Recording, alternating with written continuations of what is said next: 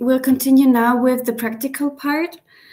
Um, Janiça Hackenbuchner from the DataLit MT team will hold the first practical session, and the topic is about MT-specific data collection, MT training data preparation, and MT model training using Python-based Jupyter notebooks. Janiça, the floor is yours. Perfect. Thank you so much. Um, so hello, everyone, to this first practical session. Um, I am very excited to start this one. And I will be sharing my screen. Um, and as before, I won't be able to see um, any faces or any chat comments or anything. So if you do have a question, feel free to just simply unmute, unmute yourself and just uh, interrupt me um, while I'm speaking. That's really fine. This is, that's what this is supposed to be about. So um, don't worry. Um, or you can post it in the chat and then maybe Andrea or Ralph can um, can tell me as well. Um, yeah, we'll, because, we'll, keep an eye on the chat. Yeah, just in case because I won't see it. So just um, perfect. Then let me just share my screen.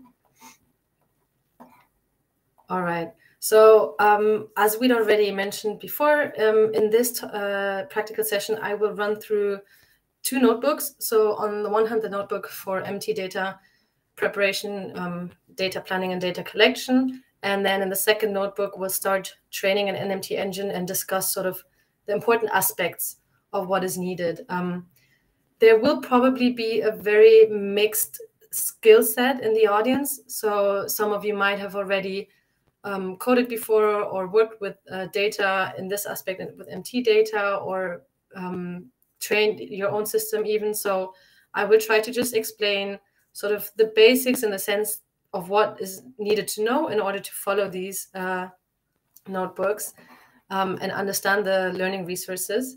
So the first one that I will be starting with is this MT training data preparation at the basic level, the one that you can open with this link as well. Um, but it's probably easiest just to sort of to watch for now, um, especially if you only have one screen. I have opened a uh, copy of that so that I can click through this notebook. So this is the first one. And um, this is how our notebooks look like. Um, they have text, as we've explained before, and then they have these code cells that we will be clicking through, and then some more text and some more code cells. So um, everything should be sort of self-explanatory within the notebook itself. And we have also always linked um, the accompanying tutorial videos. So especially if these notebooks are not very clear straight away just from um, reading and clicking through these notebooks, I really recommend having a look at these tutorial videos that we have in our YouTube channel um, because we've really tried to guide the process of going through these notebooks for all of our resources, for all of our topics, um, because it can be really helpful maybe just to hear a voice or to have someone explain it in a bit more detail in comparison to what you can actually see in the notebook. So um, I really hope that these uh, can be uh, can be helpful, these videos. Um, and if you open this link, so from the website, if you open the notebook links, you will always be creating a copy of that version um, in your own computer. So you will be able to work within that copy um, and then save that also to your to your drive. Um, so you would and for example if you have changed something you can always go back to our original link and then open it again um, and you can start from from scratch sort of. Um, so the the one that you will be opening and working in will always be a copied version. All right so i'll just dive right in and and honestly just uh, interrupt me if you have a question. Um, so as we've covered before when we talked about the theoretical part um, gathering uh, gathering data for machine translation um, for training the systems is um, sort of a, a, specific task already, and it's a very important task because naturally we need uh, good corpus data to train our models, um, and then we need to have a look at our data and um, kind of adjust it in a certain manner in order to then train our systems. And um, Danielle, for example, also mentioned that in in her uh, talk on difficult infer machine translation because if we just use some let's say random data or even already corpus data and upload it the machine might have an issue with it or there might be aspects that are sort of noise. So the data might be noisy, and we need to um, clean it and filter it before we can actually use it to um, train our own system. And there are a number of uh, resources where you can find data to train uh, NMT systems. One of them is Opus, which we have linked here as well, which you can see. And just to show you quickly, um, Opus has a lot of parallel corpus that you can find for a range of different languages. And also in our um, resources, we're often or mostly working with English, German, just because those are our languages, and you know we needed one to have as an example. But you can use our resources and then um, work work with those resources, but with your own data. So with your own languages, if you're working, you know, with Spanish or with French, um, you can do that as well. And on this uh, page, for example, you can download data. So I will just quickly show you, for example, if I look for English um, as one language and I look for German as another language, then just by typing the languages here, I will get a huge list of um, available corpus, corpora, and um, you can work with any of these that you want to, but uh, this is kind of where your data strategy and your data planning comes into play because you have to think about, okay, what type of data do I need? Naturally, we're working with parallel corpora, so um, in this case, English-German data, so it's bilingual, but then you also have to ask yourself the question, um, how much do I do, data do I need? How long should this data be? Um, would it be in a formal language or informal language? Um, what's the domain? Do I maybe want to work with medical data? Do I want to work with just in general like web crawl data? So, you know, this is where your data strategy, data planning comes into play. Once you've decided that, you can look here, and these are sort of the lists of the, the names of the data sets. And then here you can always see how many sentences these data sets have. So you can see um, they tend to be rather big, so in the millions, and the lower you go, they become smaller. Um, and there are different formats that you can download here. And on the right-hand side, you can always look at a sample of how this data looks like um, before maybe deciding which one to download. Um, so the data that we're using in our uh, data preparation notebook is the TED 2020 data from TED Talks. So it's kind of um, normal spoken language. And if we click on sample, for example, we can see, is there a question? No, okay. Um, we can see sort of how this data looks like. So we can see example sentences of um, the type of sentences that is included in the data. And then the one that, the link that we need for our notebook which you don't need to copy because we already have one in our notebook. But if you're looking to get your own data for your own language pair or for a different corpus, um, you can go to the TED 2020, and then we need the Moses format. And if you right click on it, you can copy the address of that link. If you click on it directly, it will download it locally to your computer, but you can copy the link. Um, and this is the link that we have here in our notebook as well. Um, and within this notebook, we can just uh, download it straight away just by referring to this link. And this link is the one that you get by right clicking on Moses, as I've just shown.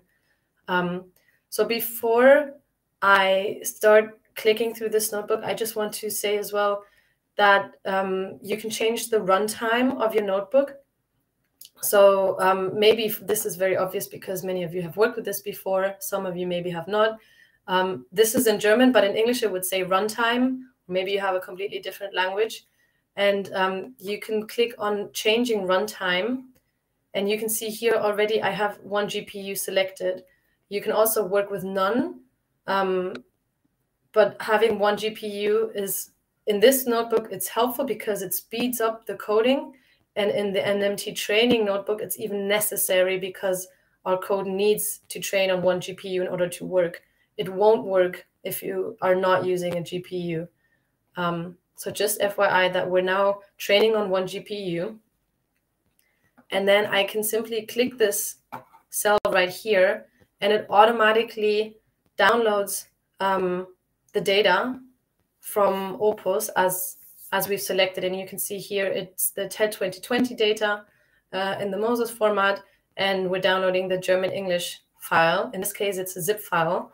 And what we're also asking the cell to do is to directly unzip the data. So now here we have the TED 2020 German English German side of the data and the English one. And just to show you on this left-hand side here, we can see that now we are working sort of locally within this notebook. So we have not yet connected our notebook to, to Google Drive, for example. So at this very moment, all of the steps and all of this data that we're working with is within this notebook setting. So if I would now close this window, um, that data would be gone, which is why at the end of this notebook, we're saving the data that we've worked with and that we've produced to our Google Drive so that we can reuse it later on. But just for now, it is saved locally in this notebook. And you can see that always on the left-hand side when you're looking at the files. So that is, um, that is how we have the data within this notebook. And these are the, the two files that from now on we'll be working with. The thing now with these um, files is that they might be noisy. So there might be parts within these this corpus that um, sort of is noisy for the machine translation system. Um, so we want to sort of clean the data a little bit. Um, there's more textual information that if you look at this notebook, you can read up on that. I won't sort of go into detail. Um, but we need to install some library requirements as well that we'll be working with in this notebook. Um, this is nothing sort of where we need to focus on or that we need to really understand. It's just something that the that we need to load in order to then be able to load code later on. So I'll just let that load. Um, some of these cells take a little longer to load. Others will be a little quicker. You'll find that out. And this information, you can leave that right here, or you can also just, by clicking on this little cross, just take it away. It's still loaded. You can see here there's a green tick, um, but then we don't have it visually because that's aspect that we don't need. Um, we have um, prepared some code that we refer to um, that we've saved in our GitHub. So as we've already mentioned, we also have a GitHub repository, which I can show you here. Um, and within our folder learning resources, we have some code and some data that we refer to so that we don't crowd this notebook too much. So what we can do here is we can clone our GitHub and then we can directly refer to the code that we have saved separately in our GitHub. Um, so the next step that we do is we define um, English, this English data set to be our source file, um, the German data set to be our target file. So we would then go from English into German later on. Um, and we also define the language. Um, here you need the language codes. So these are also things, obviously, if you want to use these notebooks for different data or for different languages, you would need to rename them accordingly um, because these are then the data that we can also work with later on. Um, so what we do in this step, I'll just click already, is that we clean the data. So like I said, we have this um, rather big data set. This is still um, humane. The, we start with around 300,000 sentences. Um, so the big corpora are into the millions of sentences or even more. Um, but there still might be noisy data. And with noisy data, it, um, we're talking about the fact that there might be HTML, um, there might be rows with sentences that are too long, as Daniel already mentioned. Um, there might be sentences that are doubled, um, which we would then delete one of those. There might be um, sort of rows that have empty, empty cells. Um, so all of this sort of noise is something that we can delete just by um, using this piece of coding here. And we can always see, okay, what is being deleted? And at the end, also how many sentences we have left. Um, and it will automatically save this data set, but with the appendix filtered at the end of it. And these will also always be shown on the side here. So we're still working locally in this notebook. Um, and we can without having to download the data here and having a look at how it looks, we can, uh, for example, have a look at the first two lines of each of these data sets um, just to double check that they are also perfectly aligned. And with aligned, meaning that each each sentence is really the translation or the respective other language of that sentence. Um, and we can see, for example, here, the second line in two words, we cook. And then here in German being mit zwei Worten, wir kochen, you can see, okay, it's true, it's aligned. Um, and you can just see examples um, of how this data set looks. So checking data sets in between steps when working with data is really helpful um, just to make sure that everything is really kind of still as it should be. Okay, so now we have, uh, you know, we have decided on a data set, we have collected it, we have downloaded it into this notebook, we have filtered it in the sense that we've cleaned out noisy data. What we now want to do is we want to tokenize this data. Um, and we've talked about, I think this before as well, that um, you know, as humans, we read natural language and we read the text as it is. We can understand what is going on by reading this. But naturally, computers don't do that. They read strings of characters. Um, and in that case, we need to help them understand, sort of process this natural language data. Um, and one way of doing this is called tokenization um, or subwording. There are different um, ways to subword or to tokenize. Um, but in general, what is happening uh, to different uh, uh, in, in a, it's the, it's done in a different way depending on which sort of um, which way you're deciding for but they are splitting up um, particularly sentences in general but words into smaller units or into subwords um, and then the computer can train on these smaller subwords because this um, this decreases the vocabulary that the computer um, trains on but it would also help that, for example, if you get a new word, for example, in German, where we add a lot, a lot of nouns together, um, it the computer might never have seen this new big word. But if it's split up into all these different subwords, then the computer, based on the knowledge on the little subwords it's been trained on, can understand and maybe then translate this new bigger word that previously it had never seen before. So subwording is a very important um, tokenizing, subwording is a very important process that needs to be done in order to train um, machine translation systems. So this is what we can do here. And here we come to the point where some uh, some of the codes are sometimes a little up, outdated or updated. Um, and in this case, there has been an update. So I would just skip this section for now and locally upload subword models because we would we would have trained um, two subword models now. It's important to know that we are training one for the source and one for the target data because naturally we're working with different languages. So um, we have trained one subwording model for our um, source data and for English and one for German for target data. And for that, we apply here sentence piece. Um, and now that we have the source model and the target model, we can access that. And by running this cell, we can tell um, tell the computer to train our data, which is still in natural language, um, as we have seen up here. This is still natural language, um, which is good for us, but not good for the computer.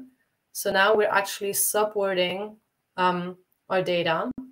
And we can see here at the end, it also says done subwording um, the source and the target file. Once again, um, always good practice, checking the data sets. And we can see this data set uh, has now been subworded. And if you can see in this case, um, there's always an underscore, um, for example, before the word, and also um, where there's apostrophes or um, punctuation marks, they are split up.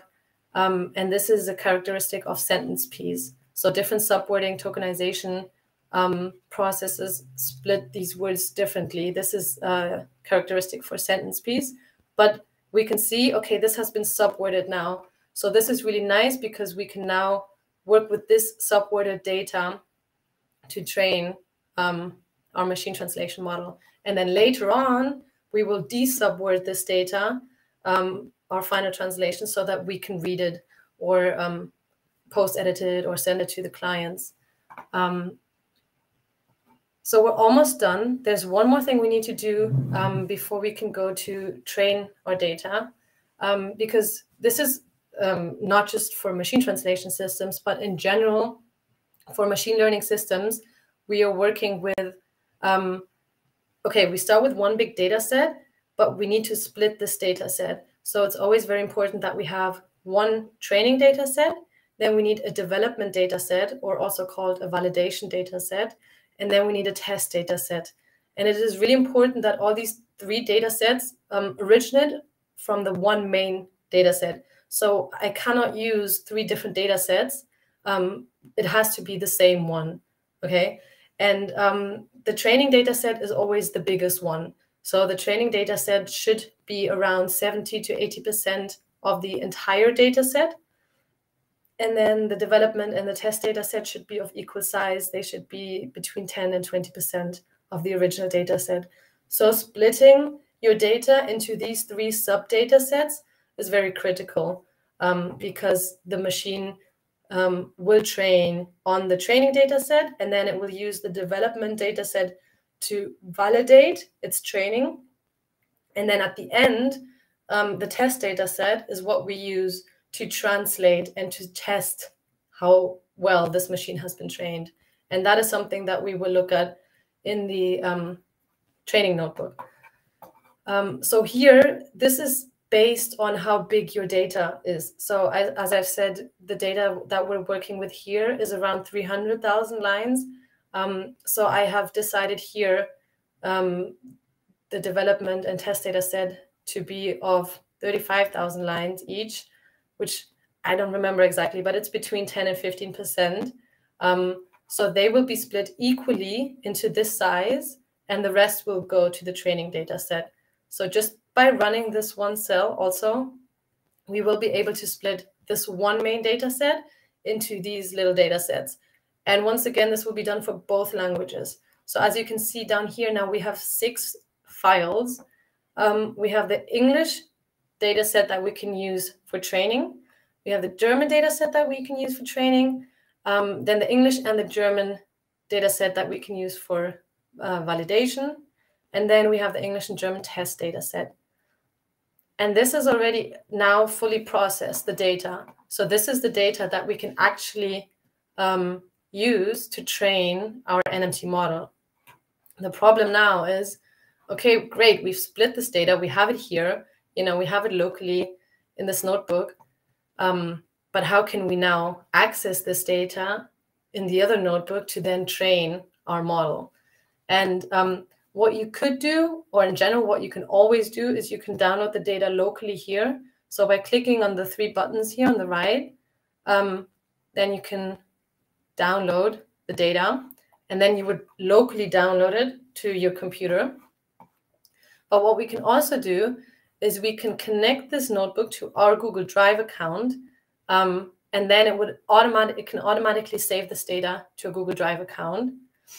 Um, and one also important thing or interesting thing that we can do is we can check um, the length of our data sets just really quickly, just to make sure that they really are of the same length. And we can see that they are because um, the train data set for both languages needs to be of exact same length. So if you're working with millions of sentences, it needs to be to the sentence, it needs to be the exact same number because if there's one sort of mishap, if there's one sentence different difference, um, then it already wouldn't work because the computer really compares each sentence which with each um, sentence.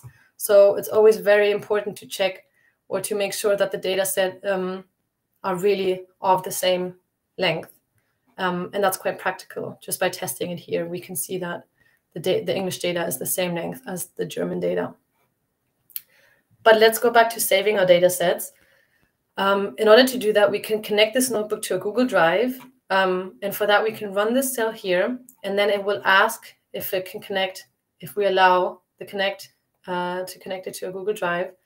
So you, you obviously have to say that you allow it, then you click on your Gmail account. So for this, you need a Gmail account in case you do not have one. Um, and then you scroll down and you can click allow. And then you should get a message saying mounted at Google Drive or something similar.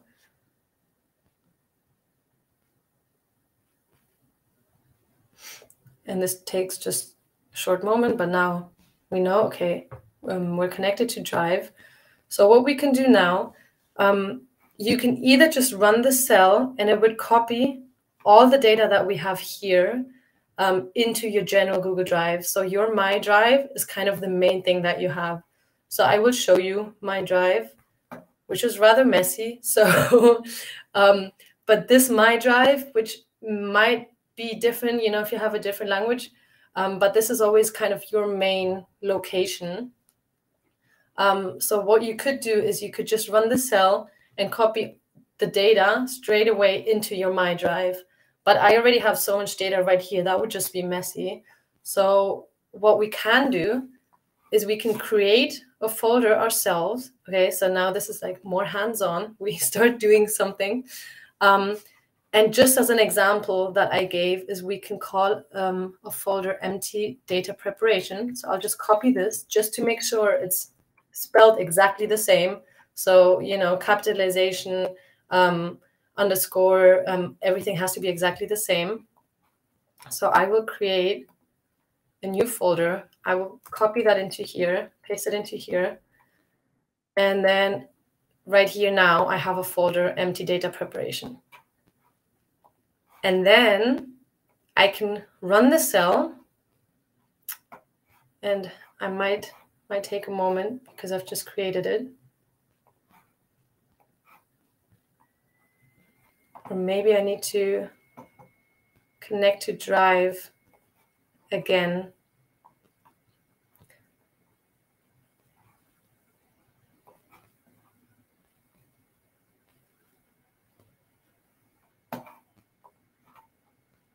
I had this um, will take always a few, not minutes, seconds until all the data has been copied into the folder, depending also on how much data it is, how big the data is. But there you can see by just running that one cell, um, we can copy all the data into this folder. So now all the data that we've used and created throughout this process on this left-hand side here has now been copied into my Google Drive. So they're saved there. And you could also, by clicking this button here, you can also check um, the contents of your Google Drive folder. But obviously, it's also nice to actually look into your drive and make sure it's there. So this is already the first notebook done. So now we have collected our data, we have prepared it, we have saved it, and now we can move on to our NMT training notebook.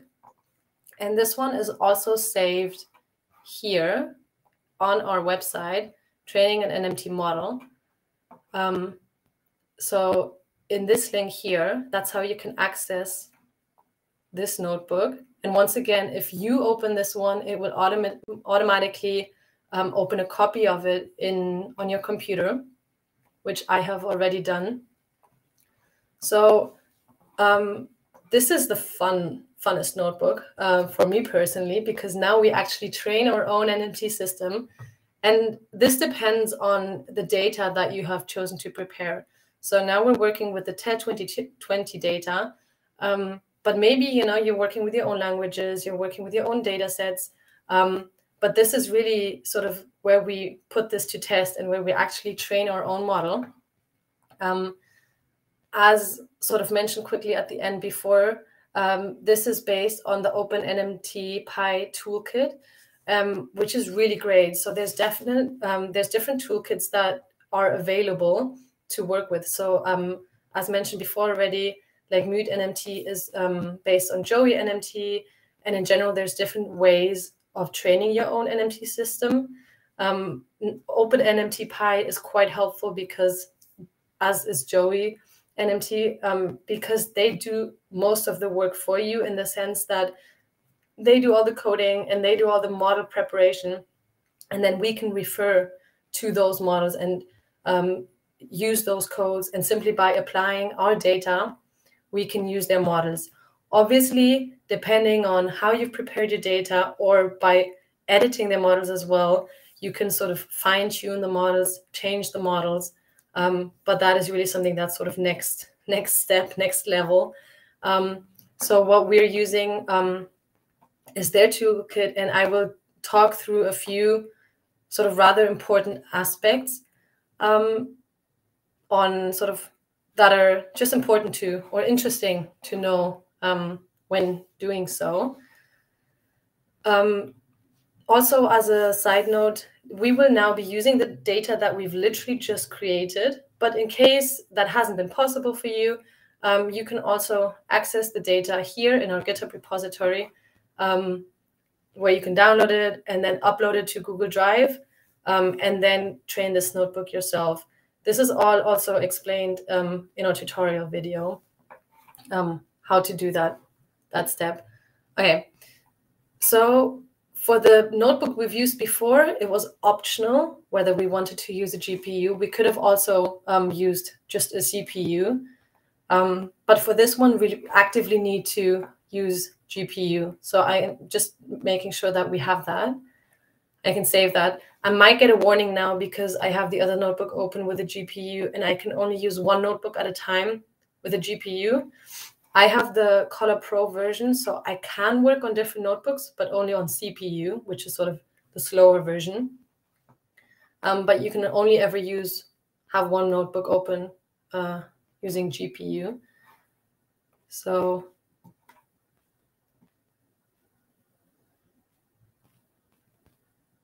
maybe it switches automatically to this one now. That's great. So what we need to do first is we need to install um, OpenNMT package, which we can do by running this cell here. And uh, as before, we've linked uh, relevant information here. So if you ever want to know more about OpenNMT or about the forum or things that are discussed, um, you can just click through the links here.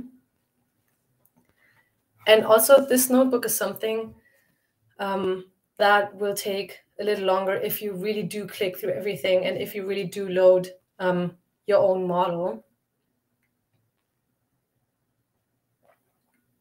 We are working with um, as I mentioned, a rather small data set, so not even 300,000 um, sentences, um, which is why we can sort of get by training this a little, our own little NMT system for around one hour. So if I click uh, on the training process um, to fully train, it would take around one hour, um, which is really, really short in comparison to what these models are being trained on.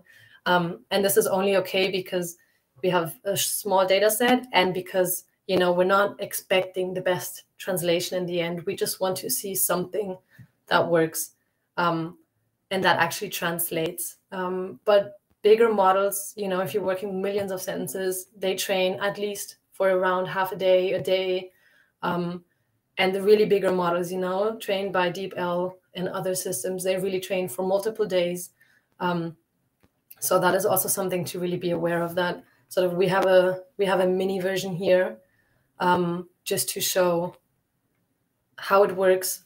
Um, but if you do want to um, train bigger models, you need to increase the steps, the training time. Okay, so I have installed the OpenNMT package. You can see that because of the green tick. Um, I once again connect this notebook to my Google Drive. I have to um, allow that again. This is something that you always have to do every time you open a notebook. You, um, you have to connect it to Google Drive um, every time over again.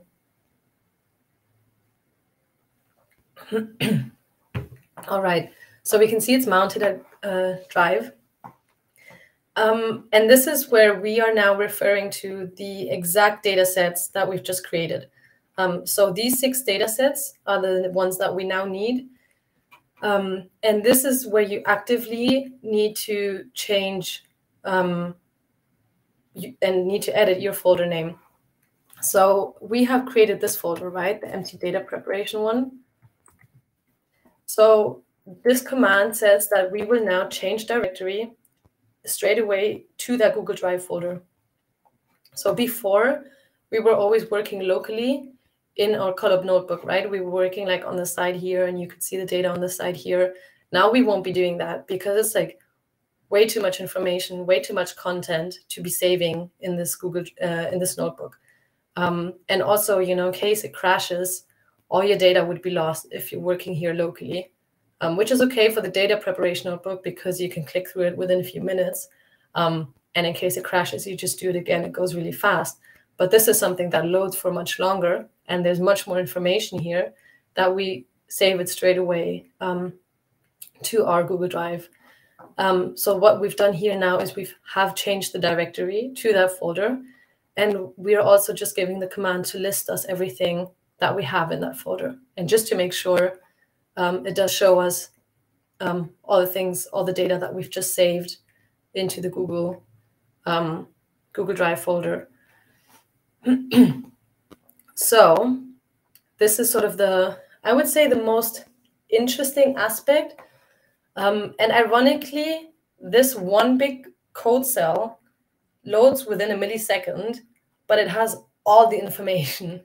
Um, so I find this one really, really interesting to sort of talk about it in a bit more detail because also you will find this and you will find this information um, if you are uh, planning to train your own your own NMT system online. Um, and you will see this here, but maybe if you don't know what this means, this you know doesn't really say much. Um, when I started training an NMT system for the first time, I didn't really understand what was going on um, by reading this. I was like, oh, okay, I just have to run the cell and, you know, somehow it will work. But I didn't really understand any of um, what it actually meant. So I thought it would be really helpful um, to talk in a bit more detail what this configuration file actually does. Um, and especially because these are some aspects that you might need to change later on if you're working with different data or if you're working with uh, larger data and you want to train for longer, these are things that you actively need to change. Um, I've explained um, these steps here, these parameters here, so you can also read up on that later on. And I've also explained them in the tutorial video. Um, but I will cover a few of these um, a few of these points here. So this little cell here, if you run it, it creates a config file. And as you can see, that was not even one second and it's already done um, because it just saves all this information. Um, but what it does here, it saves this configuration file straight away into the folder that we're now working with. So you can see now in my Google Drive, I've created this config file. And this just contains all information, literally just written as we have looked at it.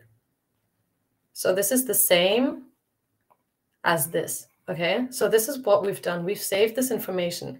But what this config file says is as we run, as we train the NMT system, we're creating a new folder run. For example, this is what it does here. And with it, within that folder run here, we refer to this folder. We will then create our source vocab and our target vocab. So in the next step, based on our training data or input data, we will actually create vocabulary files. And these vocabulary files will be saved in this run folder. Then what we do here is we access our training data. And this would be important if you ever train, uh, if you ever use different training data, then you would need to change the names here, right? So this is, I'm referring to the name of the data that we have just created. But if you create um, a different data set and have a different name that is not from TED Talks or whatever, um, you need to change that name actively here. So here we're referring to our source data.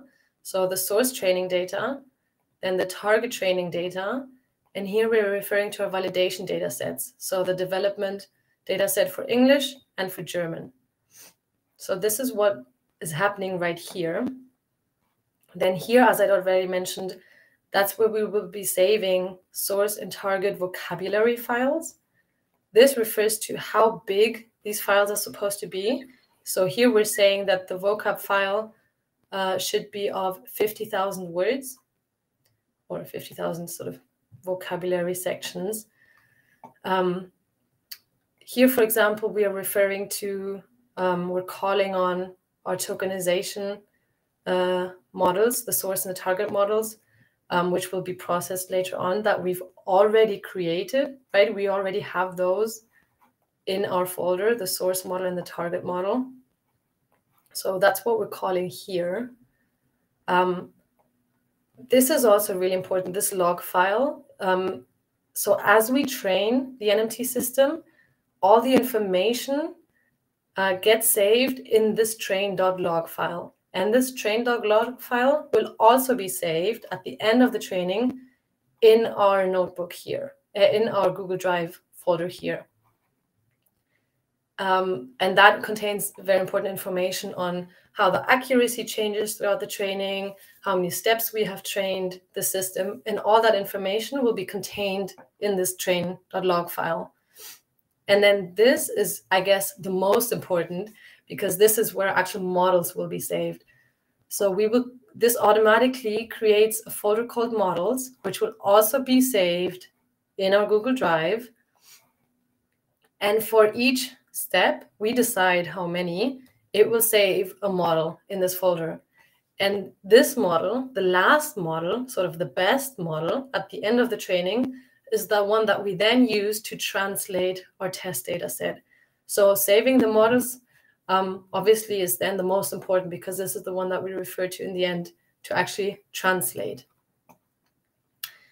Um, then I just, I'll skip to a few, but for example, this also says that we um, save a model every 1000 steps.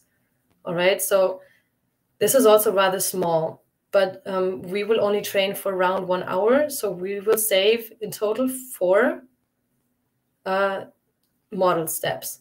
So we decide this. Um, we say, okay, in total, we want to save four models and we want to save one every thousand steps. So at the end of the training, we will have 4,000 um, training steps and every thousand steps, we have saved one model.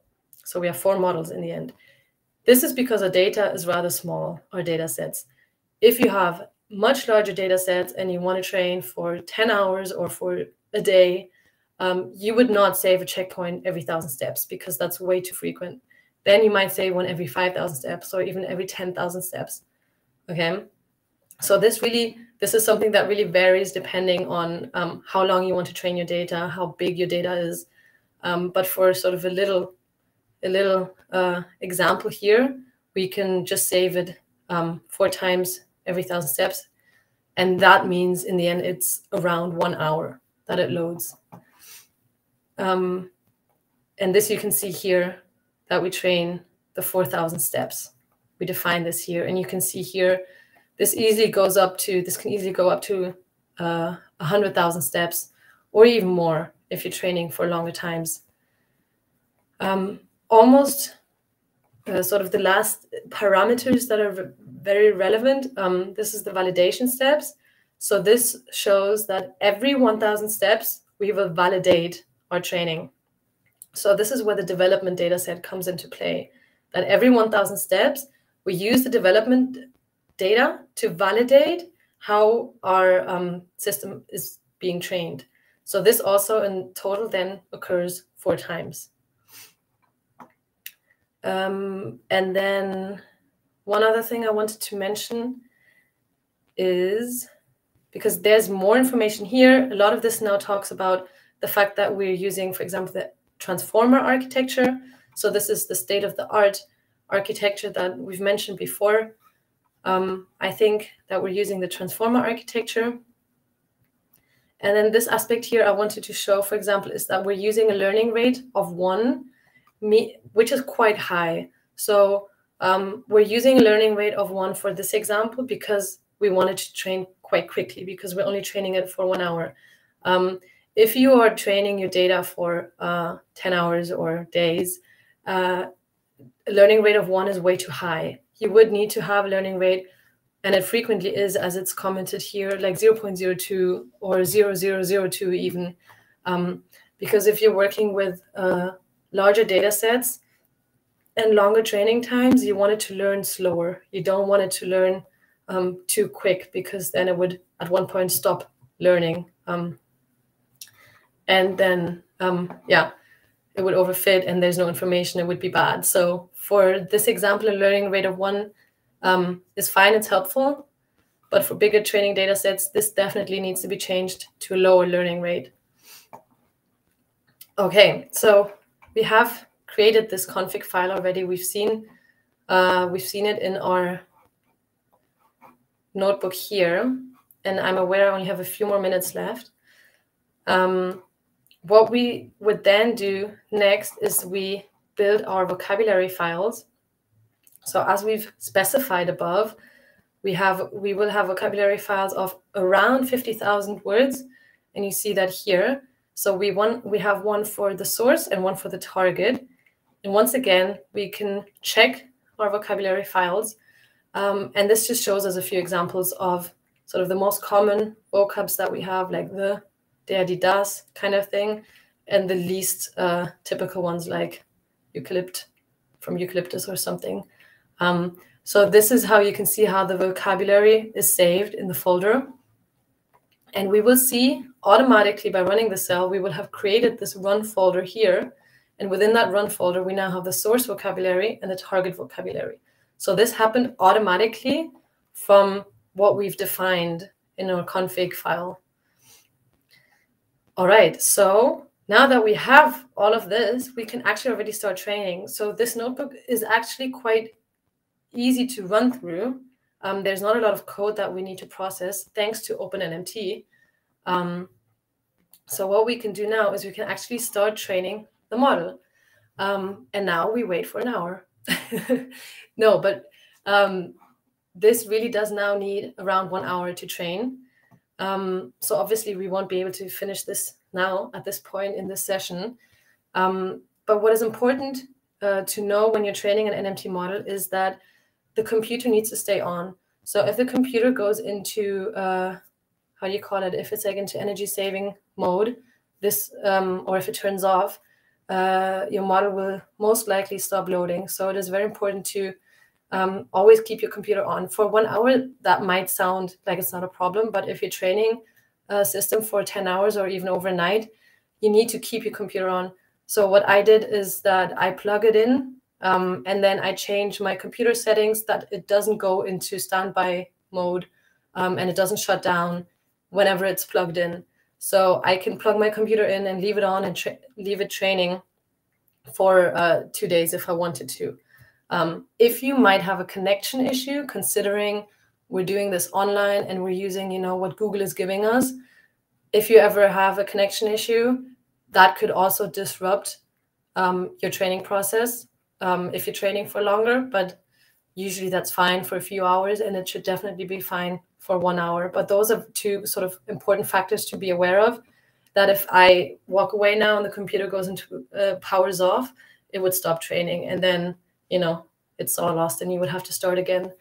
Um, so that's uh, just something important um, to be aware of.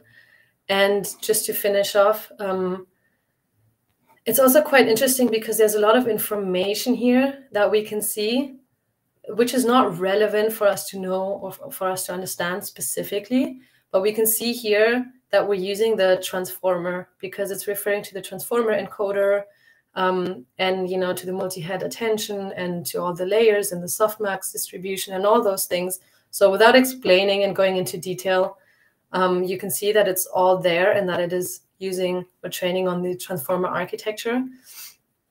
But this information at, at the top is kind of irrelevant specifically for our training. What is important to look at um, is are the training steps that we see down here. So we see, as I'd mentioned before, we have a total of 4,000 training steps. And now we can just see um, that was the first one. Um, so we will see one every 100 steps, we will see a training step. And you can see this here, this is the accuracy. So right now our accuracy is at seven, which naturally is very, very low. It goes up to 100. Um, and as this training goes on, we will see this accuracy increase. So this is something that we want to see. The accuracy should increase. And this, what we see here is the cross entropy. That is something that we want to see decrease. So now it's still at 9.5. We want this to go as low as possible, as low, as close to zero as possible. Um, within our sort of this uh, data in this scenario, I think we can reach an accuracy of about 70% and a cross entropy maybe around two. Um, so just kind of to know that obviously then the higher you get and the lower you get, um, your your system will also train better. But you can already see from the first step to the second step, the accuracy has increased to almost 12 and the cross entropy has dropped. So in the beginning, these differences will be quite noticeable and quite high. And in the steps later on, um, this will sort of, the accuracy will increase much slower. And sometimes maybe it won't increase for a few steps and then it increases again and then maybe only by like 0.1 or something. So in the beginning, um, it learns quicker. And then as you go on, it learns a bit slower. So these are interesting um, things. And this is what is then saved in the log file. Um, all of this information that I've talked about will be saved in the log file in the end. And just because we don't have time to um, sort of wait until this model has finished training, I can show you of what I did yesterday is how it looks when we then translate the data. So once I then trained the model, I refer to, you remember I said it saves it in a folder called models, and then it would be the last one, the one saved at step 4000. And this is the one I then call to translate um, the test data. And this is what it would look like. So this would be our output sentence um, in English, subworded still, right? And this would be our, um, our input sentence in English and then our output German translation. Um, and this is still uh, subworded. We would then de-subword this. Um, and this is just an example. Then in the end, we can see, okay, this information would then be de-subworded again. But these are steps that now we don't have time to click through since this would train for a while now. But I hope that I could explain a little bit um, the process of, you know, what is necessary to find data to clean the data, prepare the data, subword it, divide it into different data sets, um, how to save it, how to upload it, how to refer to it, what you need to know to train uh, your own model, kind of what the important parameters are. Um, and then hopefully, hopefully you can do it yourself also with different data um, and try it out yourself. So this is kind of what we've attempted to do with this learning resource to kind of um, it's based obviously on existing code that we've adapted to our own needs, to our own data, but hopefully explained in a lot of detail um, so that you can all sort of try it out yourself. And this is also what I've really explained in the YouTube videos. Um, so in case you um, have more questions, I hope that they can be a good resource. Yeah. Thank you very much, Janiça. Um, it's very interesting to see to have a look behind all this um, all this process, the MT training process, and the, the learning resources. Um, I still have a question here in the chat from Alina. Um, does early stopping find the best model based on accuracy, accuracy, and perplexity scores? So it does not rely on quality evaluation metrics such as BLEU uh, no. to choose when to stop training, right? No, um, it doesn't it doesn't have anything to do with BLEU or anything as far as I'm concerned. That is not incorporated in here. In this case, I, I guess you're referring to this. Um, this is to prevent overfitting when training the model. Um, so this would refer to maybe what we see here with the with the aspects of accuracy or cross entropy that we don't in in our case we have the early stopping as well but we don't actually need actually need it because we don't train for long enough um, but this means that if there um, have been like n validations so validations is what we do every 1000 steps so this says that if we have uh, in this case we define n to be 10 so this says if we have 10 validations um, and it's it hasn't improved uh, the training hasn't improved then please stop the training because clearly it's not improving anymore. Um, since we're only validating this um, four times, and this is a very short example, this is irrelevant um, for us in this aspect. But um, especially for training larger models, this is relevant um, that it doesn't, uh, that the, um, yeah, that the models don't overfit, and then it would naturally stop. But it's not based on on BLEU. Could I add something to this? Please. if I'm not mistaken, I think the BLEU or TER, the, the MT quality measures, they come into play once model training has stopped, and then you translate the test data set in order to see how well your model performed or the, the final model, the best model from the, the training phase performs. Then you translate the test data set, and then you usually have MT quality evaluation scores like TER or BLEU and report these for the translation of the test data set. Yeah, actually, yeah. So this is also what is included here at the end of this notebook, which you could do, where you quickly uh, calculate a BLEU for uh, this. I think this, if I if I run through this, this gets me a BLEU of like twenty something, which is okay considering we only trained for one hour. Um, but yeah, that's where BLEU comes into play. Thank you very much, Janiça and Professor Krüger. Um, I have a look at the time now. We are um, one minute over the time. Um, I would suggest that we will change to the next practical session. Professor Krüger, who leads the whole DataLitMT project, uh, will hold this session together with Andre Busch um, and also Janiça Hackenbuchner again. And the topic is MT-specific data evaluation, analyzing machine translationese in post-editese, and calculating string matching-based and embedding-based metrics for automatic MT quality evaluation using Python-based Jupyter notebooks. Very long title. Um, Professor Krüger, the floor is yours. Thanks. It's basically uh, two subtopics we put them together in one session. Andre, uh, do you want to start with uh, machine translationese? Yeah, I can go ahead. Okay. All right, let me just share the notebook.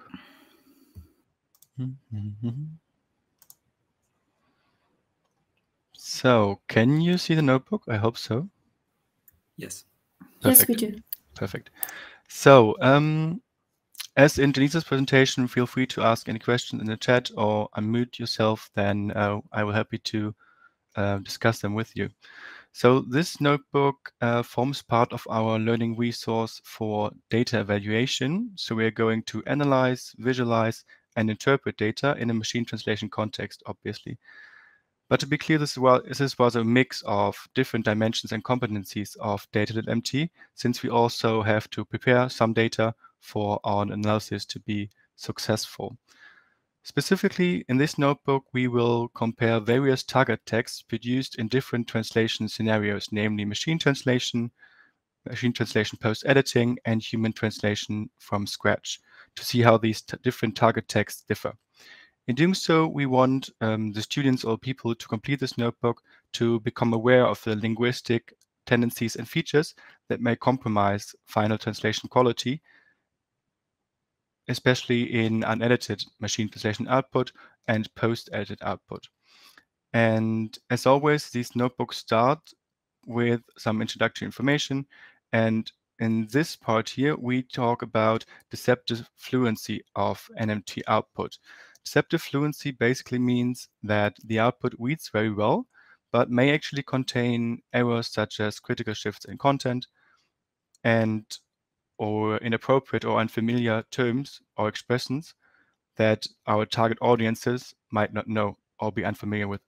So after completing this learning resources, our students should feel competent enough to critically analyze NMT output and not simply adopt uh, the suggestions of an NMT system just because they sound nice.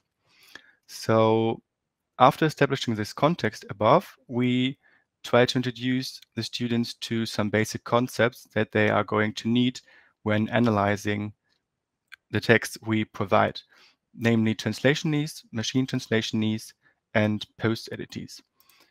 Human translation have been found to exhibit linguistic features that differentiate them from their source texts on the one hand, but also from the texts that would have been originally produced in the target language. And here we list four, simplification, normalization, explicitation, and interference. But in this notebook, we are only going to focus uh, on simplification and sometimes on interference, but again, mostly on simplification. And simplification means that human translations are assumed to be lexically, syntactically, or stylistically simpler than their source text. And interestingly, these this tendency of simplification and interference can also be um, can also be seen in MT output, which uh, then again distinguishes it from source texts and from human from scratch translations and from original target texts. And this can be described in regarding translationese as machine translationese, as for example, Vanmassenhove et al. do in their publication in 2021. And these authors found decreased lexical richness, or how we call it in this notebook, variety, in NMT output compared to corresponding source texts. And they call this phenomenon artificially impoverished language. And we will also have a look at exactly that because we will look at the vocabulary in both NMT uh, output and then again in post-edited output and compare that to the to, to how diverse the vocabulary is in human translations that have been produced from scratch from source text. And regarding post-editing or post-edited outputs, Toral, for example, found that these patterns, for example, simplification, can also be present in post-edited output, which he describes as post-editese. And then again, we also um, we also want to find out if these patterns can be found in our target text that we are going to analyze here in the notebook. Now, that's why we included this whole section around here. And then we go on by including priming. Priming effects have been identified in both human translation and in post-edited output and also in human translations from the source text in this kind, but it is interesting that priming can also occur or even to a stronger degree in post-editing than in human translation because the post-edited output is already obviously produced in the target language. And there's, therefore, it might be harder for post-editors to come up with alternative solutions for their post-editing text or for their final translation result. And I won't have time to go into much detail here, but if you want to learn more about these concepts, you can find here on this link our companion paper for the basic level that goes into much more detail regarding these concepts. And of course, you're always welcome, as in Janiça's presentation, to go to the accompanying tutorial video for this notebook, where I can uh, dive into this a little bit as well. Now, putting theory into practice, as I said, we're going to look at different translation scenarios and the text produced in these scenarios. And namely, we're going to look at these here. So one raw or unedited NMT output, which has been produced by DeepL, and then five fully post-edited versions of this output, or MTPE for short, and five human translations from scratch, which have been produced by professional translators or translation students um, directly from the English source text. And all the target texts are in German. And since it is our analysis and we want to do um, or perform an analysis right here and also interpret our results, we start with a hypothesis that we want to either confirm or deny. So in this notebook, we want to have a look at the hypothesis This is called the following. Both lexical density and variety will be lowest in raw or, or an edited NMT output, higher in post-edited output, and highest in human translation. And we show we will have a look at that if that is the case for our target text. Right. So then we finally arrive at the practical part of the notebook. And you can also navigate through the chapters of this practical part by going here in the table of contents. And then you can see that we start here with section zero and go down to access the target text files. And in section two, we talk about lexical variety. And in section three, we are going to look at lexical density. These two concepts uh, are really important for this notebook, lexical variety and density. I already explained lexical variety a little bit, but I will go into these concepts um, when we start at these and at the respective sections. So section zero is mostly housekeeping. It will be quick, I promise. It's just to make sure that you meet the requirements in your environment to use this notebook and to assess our files. So the first thing we need to do is we need to clone our repository into the environment here, which is pretty quick. And we can and we can see if that is successful by looking at the green check mark right here. But we can also confirm this in the files at the sidebar, and we can see that here is a folder data.mt and this has been cloned the learning resource. Perfect. And now we just have to change the directory in order to access the folder and the documents in this folder. So we don't want this cell. And then you can see that we have our target text here. We got the NMT output right here, and then the different post-edited versions, which are oh, this one, for example, M2PEA1, and our different human translations. HT for human translation and B10 to 5. You can also see these right here under learning resources, machine translationese, documents, and then we got our different target texts here. Perfect. So in order to assess the text within the files, since these are Word files, we need first need to extract the text from these files which we do by using the library docx2 txt. And then we also have to install the library lexical richness, which will help us to calculate the lexical variety. So we just want the cell here. This should only take a few seconds, actually.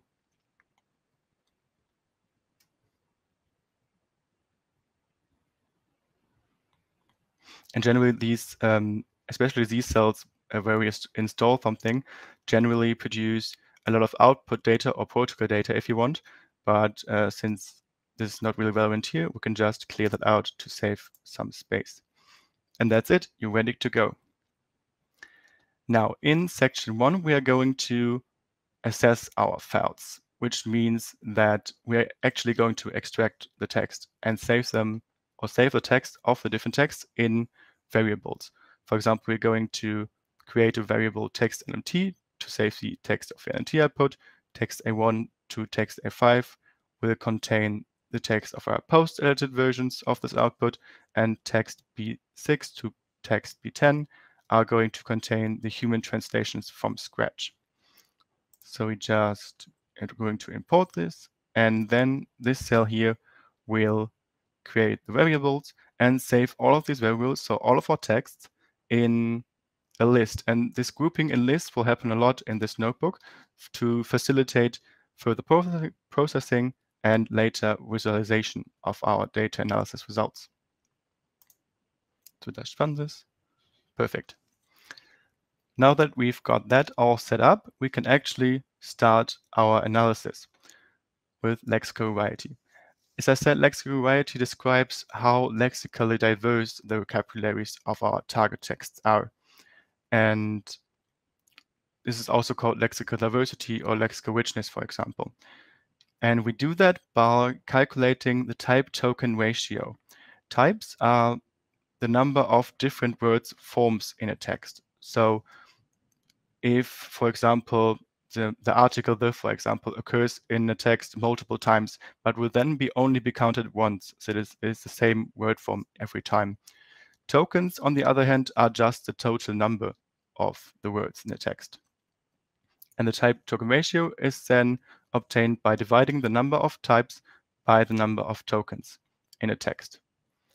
And this is a really um, good example of how we try to break down the complexity of this topic, since we always start, or at least at some point, start with one only calculating the values for one text and then later doing it for all of them, just to enable our students to get a better understanding of what is going on.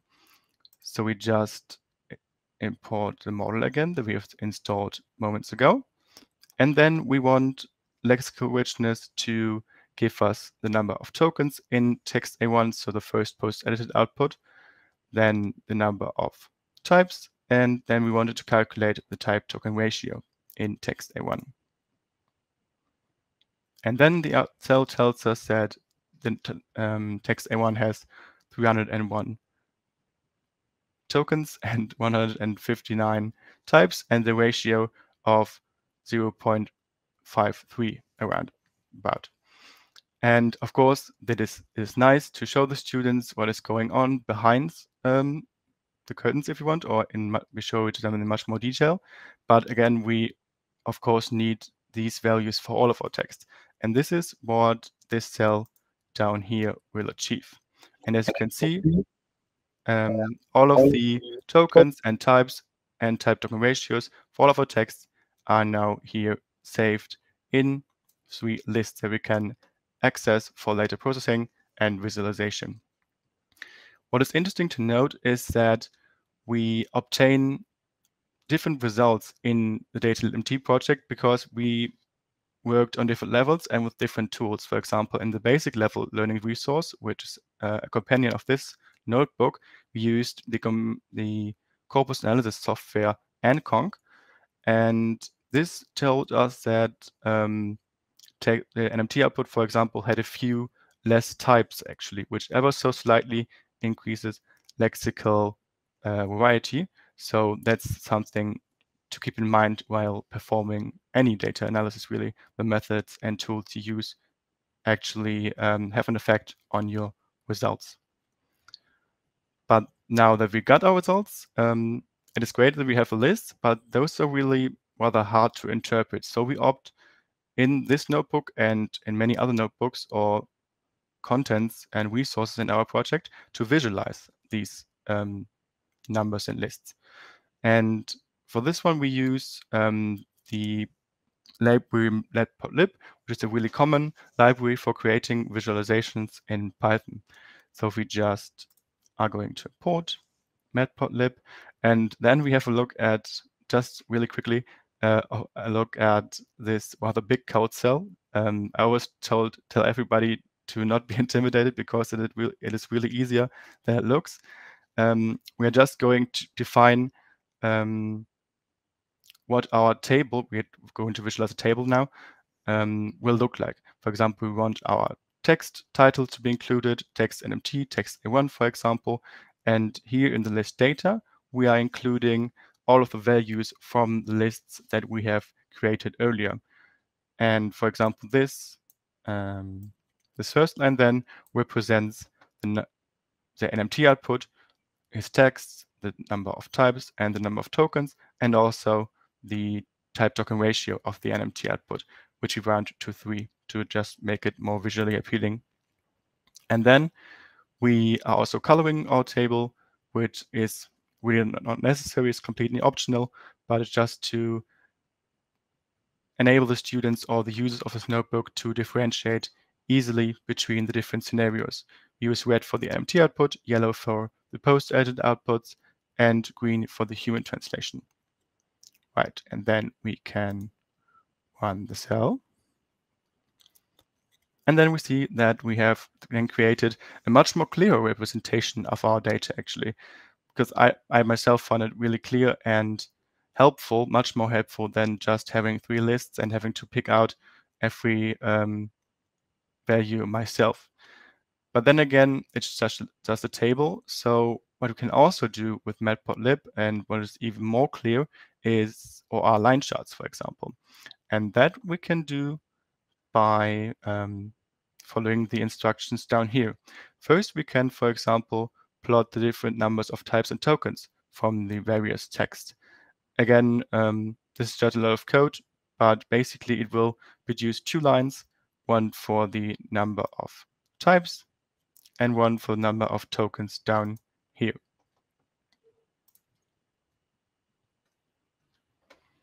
And here we can see that um, it really puts in perspective how the numbers of types and tokens are varying between the different texts. For example, we can see that text B10, which is one of our human translations, has the highest number of types and the highest number of tokens. But we can also see that B7, for example, has a relatively low number of types and also probably or surely the lowest number of tokens, which is really interesting to see actually. And this is already nice, but again, to calculate or to assess the lexical variety of the text, we need to calculate or visualize um, the type token ratios of our text. And this can be done by using the cell down here. Again, this will this line chart again will then only contain a single line mapping the different type token ratio values of our text. So in this in this example, we also include dotted lines just to divide our translation scenarios in three sections.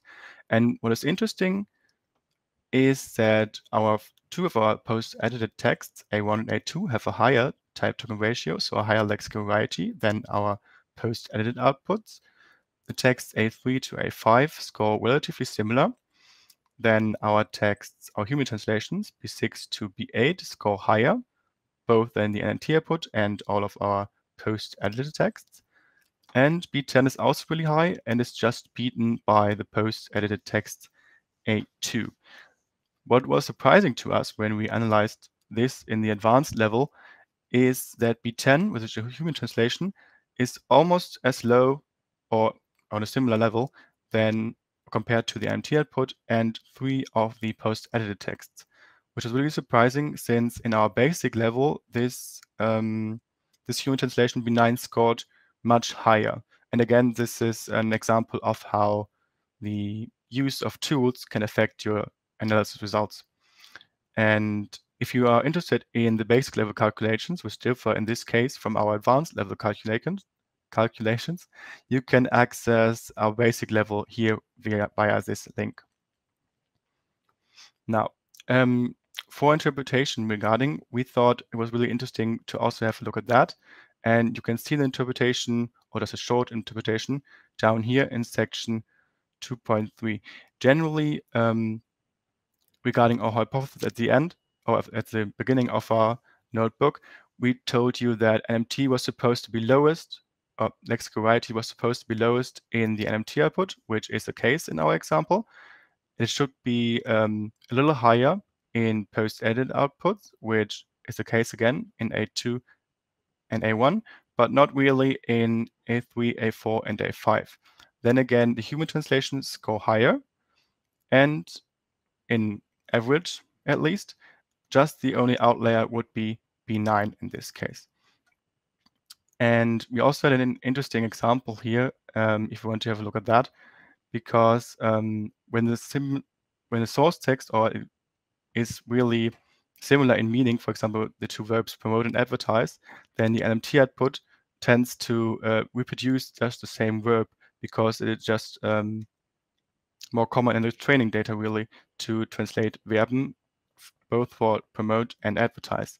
And then again, you can see that the human translators and the post editors have opted for other uh, more lexically diverse um, options, as you will. And now, since we now have assessed the lexical variety of our target text, we can move on to lexical density. Lexical density is a way of measuring how much an information a text contains, if you want to put it um, in a little bit more abstract way. And we try to calculate that by calculating the ratio between the number of content words in a text and the overall number of tokens in a text. But what exactly are content words? That was uh, my question when I started to work on this learning resource. And it is not that clear because, for example, Toral counts nouns, verbs, adjectives, and adverbs as content words. So words that really do um, provide meaning to the text. But we ask ourselves, is that will include all kinds of verbs? For example, what about auxiliary verbs? And what about proper nouns? So we just wanted to make sure that we are go going to count nouns, proper nouns, verbs, but no auxiliary verbs, adverbs, and adjectives as content words. And just and again, the um, the note here, if you are counting different content words that vary from our uh, method here, you will of course obtain different results. Now, to actually calculate the lexical density, we of course need to know how many content words are in our target texts. And to do this, we need a bit to do a bit of data preparation first. Second. And we do that by tagging our texts, which means that we are going to assign part of speech information to every token in our text. For example, here, website noun. And we do that with spaCy. spaCy is an open source library for advanced natural language processing in Python. And we also need to tell spaCy that we are working with German translation data or target texts.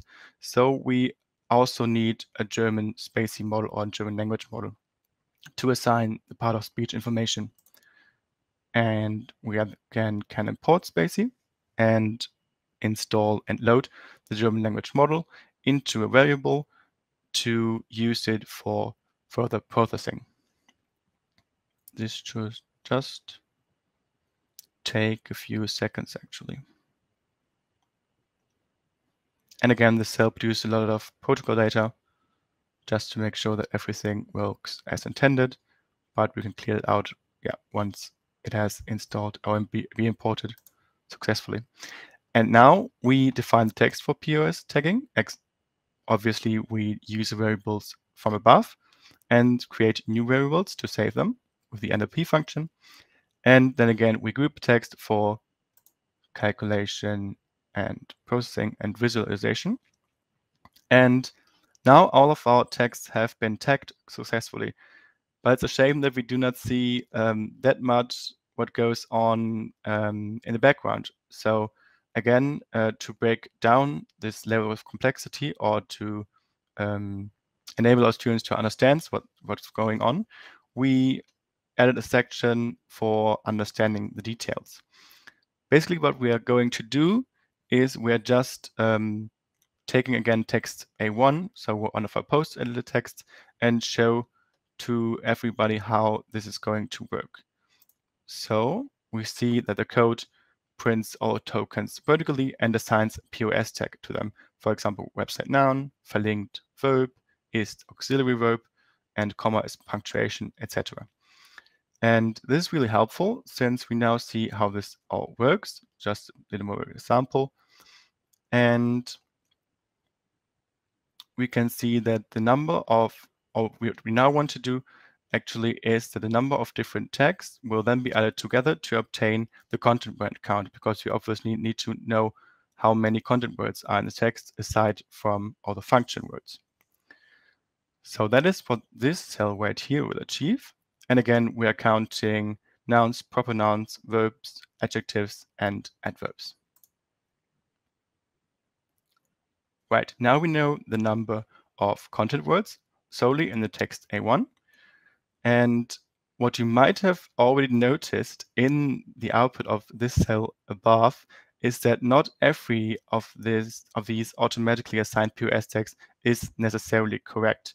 For example, let me see. These um, yeah, enumerations are partly assigned noun tags, etc. And there are many examples um, in fact, about seven, I think, that have been um, incorrectly assigned to our tokens. And to account for this um, yeah, automatic error, we are going to calculate an error rate just to make sure that um, yeah, we do not distort our content word count in the context of our analysis. So uh, we do that by dividing the incorrectly assigned POS tags by all of them and assigning or multiplying that by 100 in order to uh, get a percentage that we can then project on our other texts since we obviously think that this will occur in the other texts as well. Right, and then we can start by actually counting the content words for all text, not just for the text A1 as we did previously. And this is what this cell will achieve. Right, perfect. Now we have the content word count for all of our target texts. And now we have to extract these numbers from the list in order to enable further processing and thus and we just do that by assessing each integer in this or each position, if, if you want, in this list and save them in the respective variable full text for NMT, A1 to A5, and B6 to, or B5, 6 to B10. Right. Now that we have prepared um, and all the data and got everything set up, we can actually finally start to calculate lexical density, which we can do by dividing the number of content words, which we have here in our variables, content words MT, by the number of tokens, uh, which we get from the list from the lexical dense variety section, actually. And then again, we group all of our lexical density values in a list to enable visual, visualization later. Great. Now, um, right, what I've always missed is um, the error rate, which we need to account for. And we will also do calculate this in a list to enable visual, visualization in error bars later. And we're also going to save them variables to make it easier to calculate that. Great. So now we have a list of all the density errors which, which you can use to create error bars in our visualization to account for the incorrectly assigned POS tags. And we're going to visualize the results in a line chart again. Um, again, this uh, the code cell is rather big, but um, it's just basically it's the same as we did previously.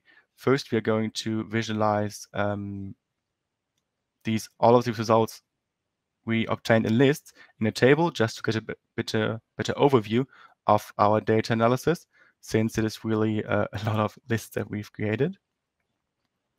Right, and now you can see all of our target texts, of text text if you want, the content words in each of them, the number of tokens, the lexical density values, and the density errors for each text. Great. Then we go on to plot the graphical representation. And again, for the error bars and just line chart. Right, perfect. And now we can see that the NMT output indeed, as we've told you in the hypothesis in the introduction of the notebook, has lowest lexical density. Then come most of the post-edited text. Again, A1 and A2 score relatively high in compared to the NMT output, A3 to A5 again lower, and then we have B6 and B7, which score relatively high. B7 is the highest actually, and then B8, B9, and B10, which score also score relatively high, and B10 again scores a little bit under um, the post-edited text A2. So that's basically um, all of the um, calculations and visualizations and processing that we've concluded in this notebook. Um, it is interesting to see that, again, we have some outliers um, from our hypothesis in the introduction, but keep in mind that we only analyzed 11 one-page documents and that the um, picture is much clearer in larger scale anal analyses. For example, um, again, our trusted source here, 12, is 2000, from 2019, found a much more clear picture. And although he doubted that the degree of lexical density in comparison to lexical variety is a systematic difference between the different translation scenarios. Right, and that also already brings us to the conclusion. And I hope I'm, oh, well, I'm a little bit over time. I don't know if we have time to discuss that. Um, if not, you can you're always welcome to read this by yourself, or as I said, uh, consult the recording in our video.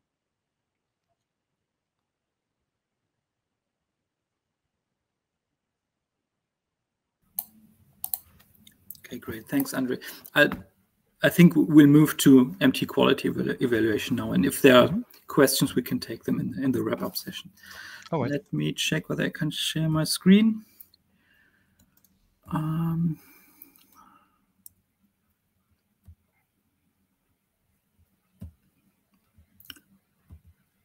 can you see the notebook? Not no, yet. I you see, the agenda of um, from BeatonMed. No, that's not good. When sharing the screen, you can select um, whether you just want to share one screen or the entire screen. Maybe it was that. Yeah, it is indeed different from Zoom now. Yeah. Yeah. Okay, Perfect. great. Yeah, I'll be a bit more brief. I think we'll take 20 minutes to go through this uh, notebook. I mean, MT quality evaluation is a fairly well covered topic out there. Also, Lieve was, uh, Lieve was talking about the MATEO project where they implemented uh, different scores. Again, we have a Jupyter notebook um, where we implemented different scores. We make a fundamental fundamental distinction in this notebook between traditional, what we call traditional MT quality scores, which rely on ex- exact string matching between a string A, which could be the MT output, which is also called hypothesis or candidate in MT research, and string B would be a human reference translation, which is our gold standard. And then we always want the MT output to be as close as possible to the gold standard, to the human reference translation. If it is close to this reference, we assume it's a good MT quality. If it's far away from this gold standard, we assume it's a bad MT quality, which is not an unproblematic assumption, but this is the basic working principle of, of, of many MT quality evaluation scores out there. So string matching based metrics on the one hand, and embedding based word embedding or word vector based metrics on the other hand, uh, particularly BERT score and Comet, what Lieve was also talking about, which they implemented in the MATEO project. And these string matching based metrics, they can only um, measure formal similarity if two strings are formally similar. And these word vector, word embedding based metrics, they can measure semantic similarity. So you may have two strings which are formally very different, but they express basically the same meaning. String matching based metrics will not be able to capture this. These embedding based met metrics do. So there's a nice contrast between this old generation, which is BLEU and translation editor rate, etc., and the new generation. Uh, BERT score, Comet, etc.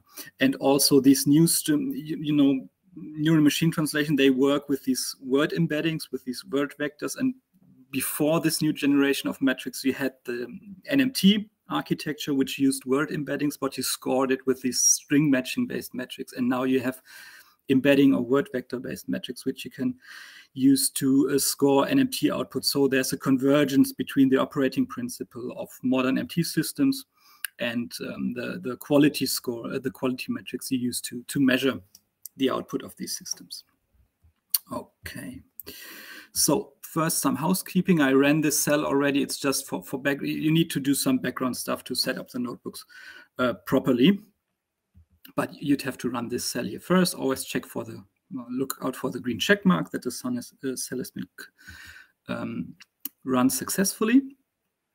Um, then we start with string matching based metrics. And we note here that for a full understanding of these string matching based metrics, particularly BLEU, there are some other concepts you need to be familiar with. Uh, precision recall and particularly the n-gram concept, which Lieve was also talking about uh, this morning. And we didn't want to overcrowd this notebook, so we created a companion notebook for automatic MT quality evaluation metrics based on string matching, which you could work through if you really want to understand the nuts and bolts of these scores, so how they work in detail. So we provide a lot of detail here, but to get the full picture, you would first have a look at the companion notebook and then continue with the main notebook here. Then we have a section on BLEU, bilingual ev evaluation understudy. It's quite famous in our industry, heavily criticized, but it's still there. Um, I won't go into detail here. The nice thing about Jupyter Notebooks I want to um, highlight is that you can include MathJax notation, which is a, well, a language for including mathematical notation in, the, in these notebooks, which is quite a nice quite a nice feature here. And this is the BLEU formula. It looks much more complicated than it actually is. So we have a detailed explanation of how BLEU works, what the individual parts of this uh, equation actually do. And again, it's if you've understood it, it's, it's quite simple actually. This looks more, more daunting, much more daunting than it actually is. We link to different uh, papers here. We yeah we install uh, a package which is called SacreBLEU, um, which is a nice play on words, and which is the official BLEU package for um, official MT quality evaluation uh, campaigns. They use SacreBLEU to, to compute BLEU scores for the output of the different systems to be evaluated. So we just run this cell to get, oh, sorry, to get SacreBLEU, to pull it into our notebook environment. Where am I? There we are. Check mark is green, so we imported SacreBLEU.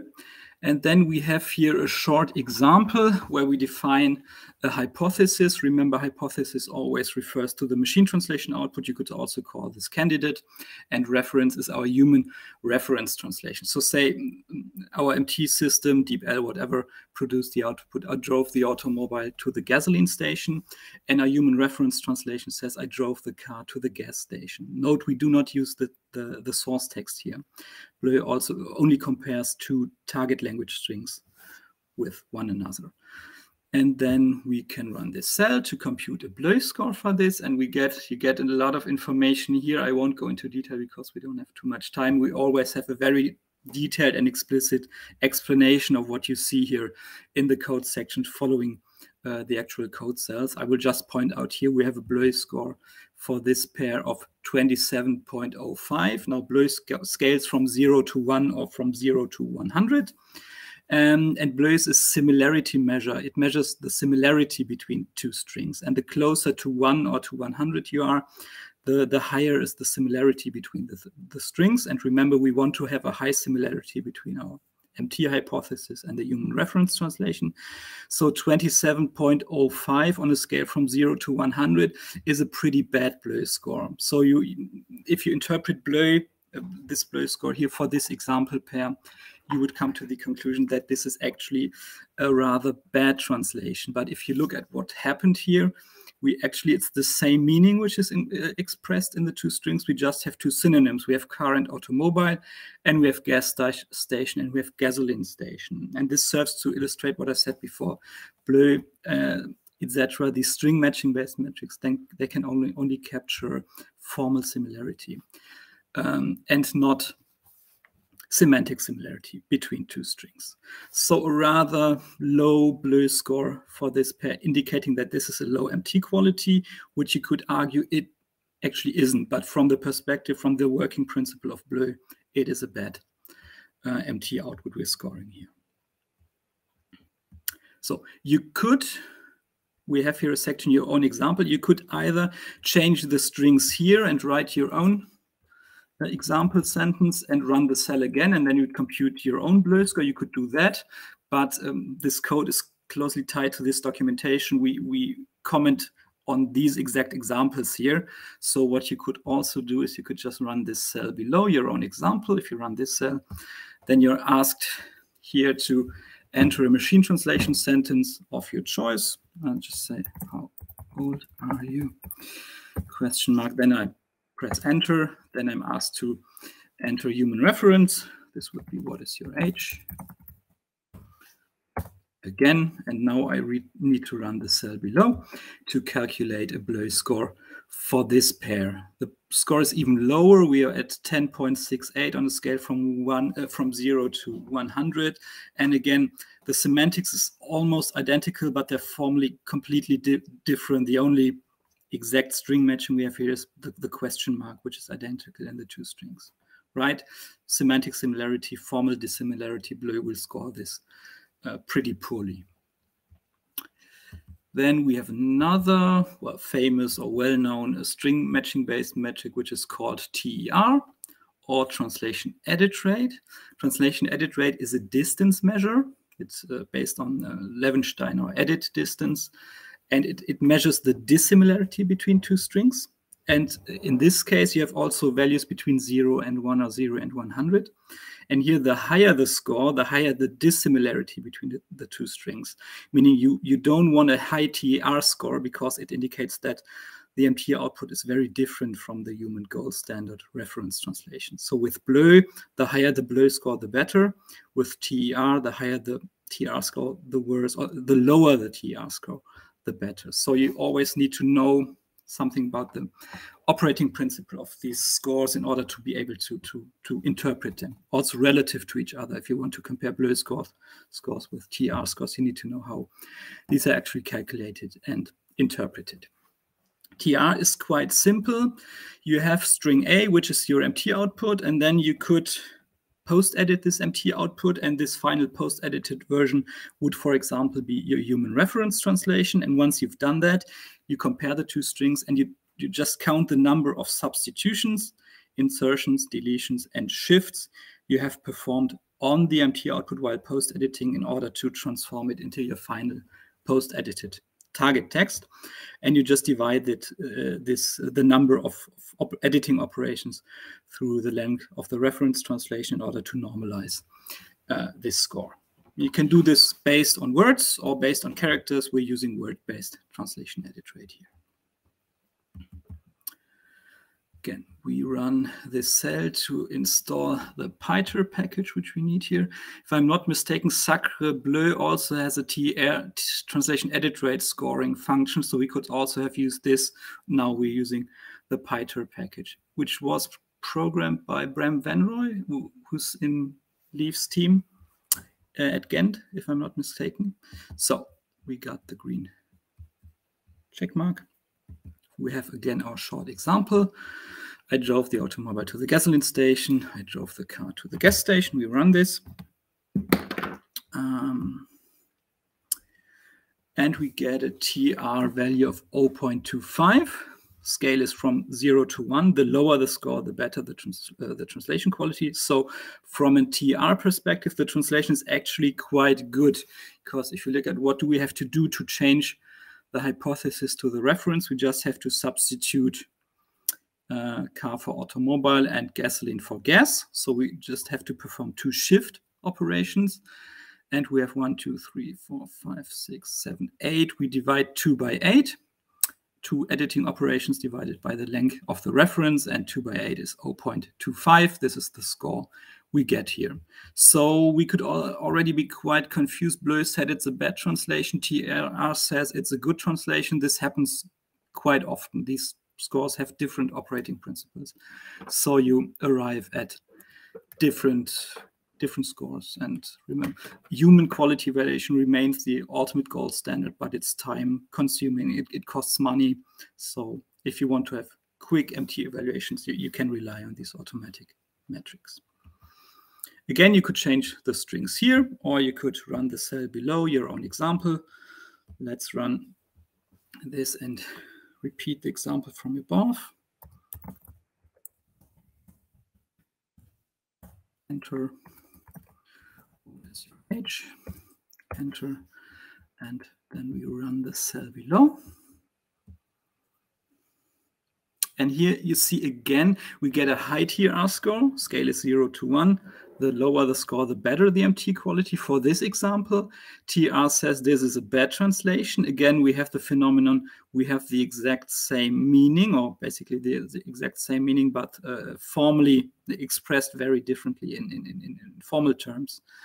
And TR is also not able to, to measure this. So we have TER of 0.8, which is a bad TER score. And if we go back above, we had um, a very low BLEU score, and very low BLEU score also says that this is a bad translation. So they can differ between themselves in some examples, but uh, the, the common thread here is that they cannot measure semantic similarity. Right, so then we move on to embedding-based metrics in particular BERT score and Comet.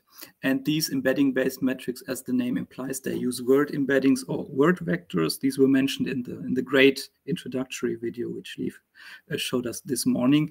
We have um, a separate companion notebook for embedding-based MT quality metrics, where you can load a word embedding model, query it. You, you can give the give it natural language words. It will it will um, calculate word vectors for you. You can can compare compare the the word vectors of of similar uh, of different words. You can um, produce visualizations. So if you want to know more about these embedding based metrics, first have a look at this notebook, which is I think it's quite interesting and does a good job, and then move on with uh, the present notebook here.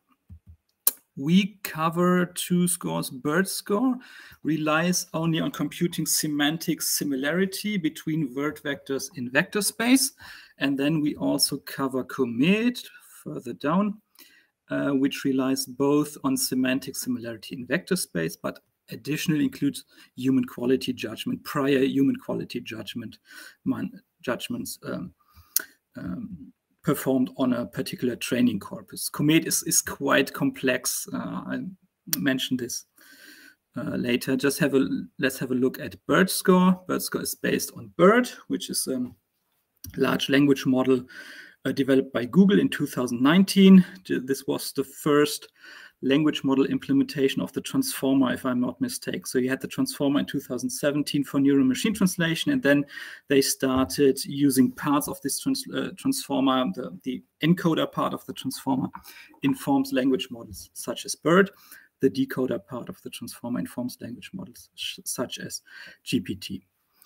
Um, so you have this nice picture, which Lieve also showed us this morning basically you have again, uh, they call it candidate, we call it hypothesis. You have an MT output, which is called, it, is freezing today. You have a human refer reference translation, the weather is cold today. Today, you look up the contextual word embeddings of these candidate and reference translations. So you look up the word vectors of the individual words in uh, the BERT language model. Then you calculate the cosine similarity between the word vectors, which is just a mathematical way of establishing how, how similar two vectors are. And if the vectors are similar, they're close in vector space. And this would mean that the words represented by these vectors, they're actually similar in meaning. So this is what this pair. You can also use Euclidean distance. This uses pairwise cosine similarity, whatever. Just a measure to uh, establish the similarity between vectors. Then you compare the different similarity scores with each other and uh, look which where the scores are highest. And then you calculate you calculate two, uh, three scores. You calculate a BERT recall score, a BERT precision score, which we didn't cover here, and then you combine them in a BERT F measure score. Um, and have a look at our companion notebook on, on string matching based notebooks where we cover precision recall and F measure. And basically this BERT F measure score is, is the final BERT score. We explain this in quite some detail here, but I know it's, it's, it's a somewhat more complex topic than the string matching based metrics. We install BERT score. I didn't run this cell previously on purpose just to show you these new metrics. They're in principle, they're more powerful than the older generations, but you saw Ber, um, TER and BLEU, they were installed just in two seconds because it's just some, some very simple algorithms you have to import there. These embedding-based notebooks, they rely on large language models, for example, on BERT or on, on other models. And these models, they are more cumbersome to load because they're bigger. Okay, we have 22 seconds here, but still uh, TER and, and BLEU were there in, in mere, mere seconds. And if you work with these embedding-based scores, they're more demanding in terms of computing power and, and processing time. Short example, again, our hypothesis reference pair from above. We define hypothesis reference, and push this through the BERT score function. And again, you'll notice that it takes considerably longer to compute a score um, than for the TER and BLEU.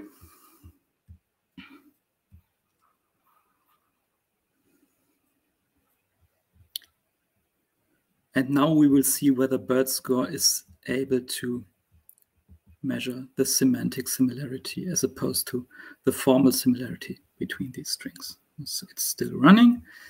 BERT score also scales between 0 and 1, and it is interpreted as a similarity measure, meaning the higher the score, the better the translation quality. So there we are. We get three scores, but we only need, so BERT recall, BERT precision, but the combined score is Score F measure. So we get a value of 0 0.86, 0 0.87 on a scale from 0 to 1. So BERT score says this is actually quite good translation because it can measure semantic similarity between these two strings, which is high, right? But they differ formally. And we had more, we had worse scores for, for both BLEU and TER in this, in this example.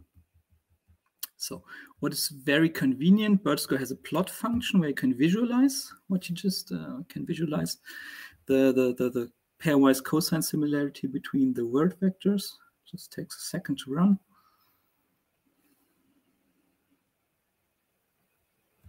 And you get this similarity matrix where you can see, for example, we take automobile, you match it uh, against the vector of I drove the car, etc., and you see the highest uh, matching rate is between automobile and car, and the same would hold for gas and gasoline. Let me check.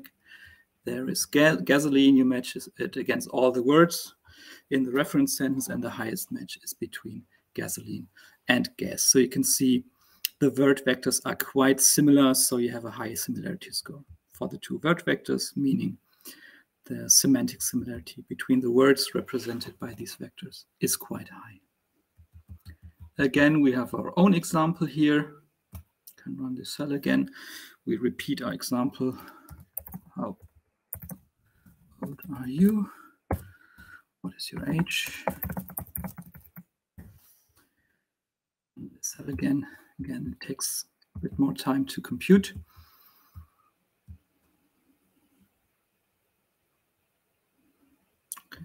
And now our combined BERT score F measure is 0.6 yeah 0.69 again scale from 0 to 1 so again it's it's a it says it's a good translation right? So we didn't get a really high value but it's not below 0.5 so it again um, can can measure the semantic similarity between the two the two strings. And also if we want to we can visualize the plot for our own example.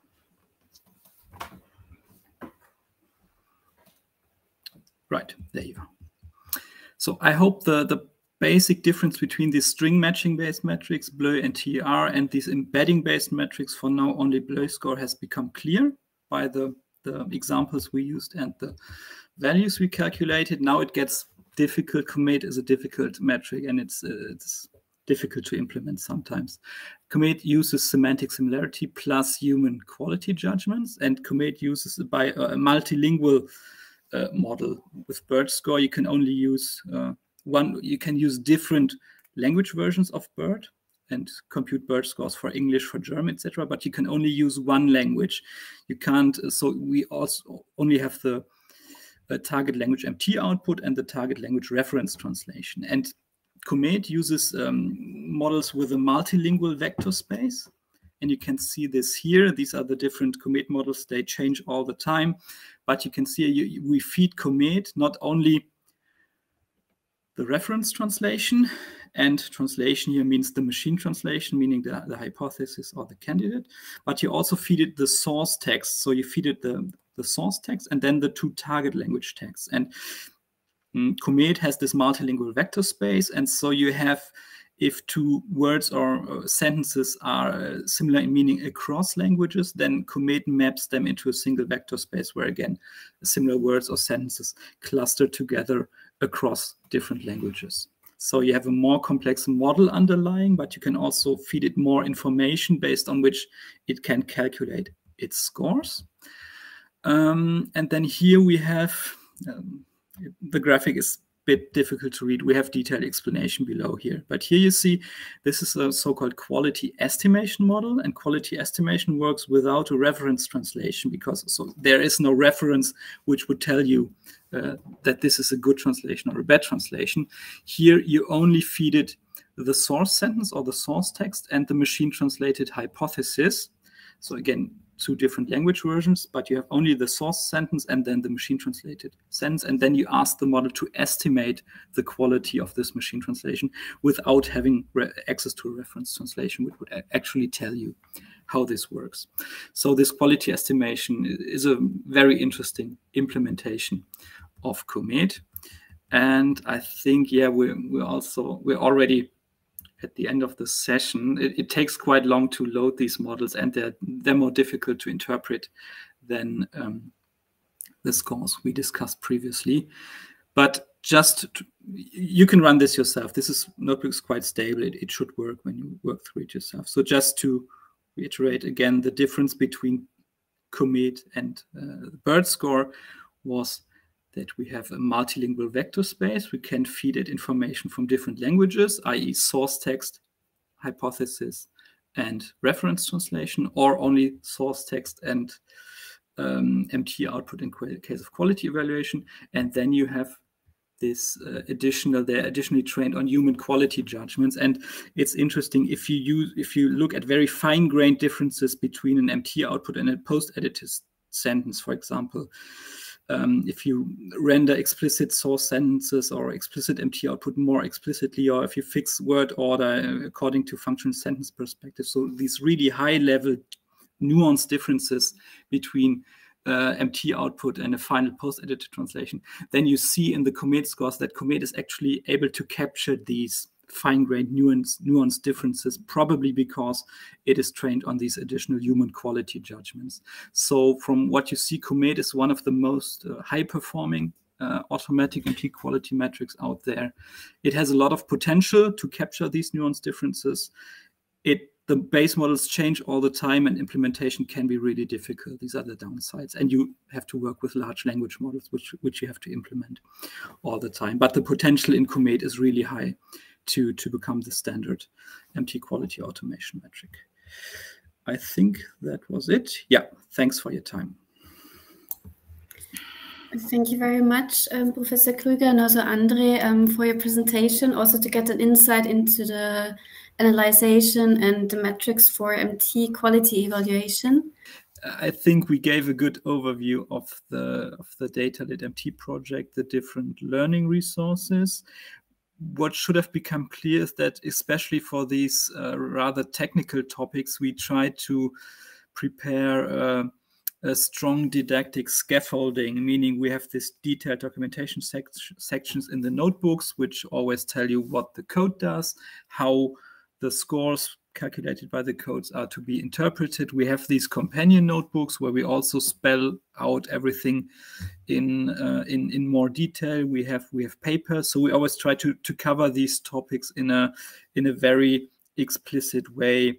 Uh, this was one of the didactic um, principles we followed in the in this project so that ideally you could walk through these resources or work through these resources in an uh, in an autonomous way I can't shake the feeling. I mean, all this is overshadowed by the new GPT models, which uh, we were working on the on our learning resources, we knew our competence descriptors, we knew which resources we wanted to create, and then ChatGPT came, uh, was published in I think it was in November, but then it, it took some months to to to gain traction, and now, yeah, the world's a different place. We have new technologies where we have to see how they they can improve or how they can um, how they can uh, further automate uh, automate different tasks of translation, how you could interface ChatGPT or other GPT models in, in Trados or in other translation production systems,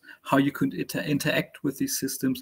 We, we, had Justus Brockmann from Vienna here. I don't know if he's still there. He's working on um, uh, using uh, speech technologies in machine translation post editing. And uh, with these GPT models, you could you can uh, interact with these models in, in completely different ways. In, in the sense I said this this morning, hey ChatGPT, I don't like this term. Please replace this term by this term in the entire target text, and then ChatGPT would transform the entire target text according to your prompt. So we have these new me this new technological means to automate uh, subtasks of translation. We have new ways of interacting with these technologies, and all this needs to be research. I mean, I don't want to devalue what we did with DataLit MT. I think this is a great preparation.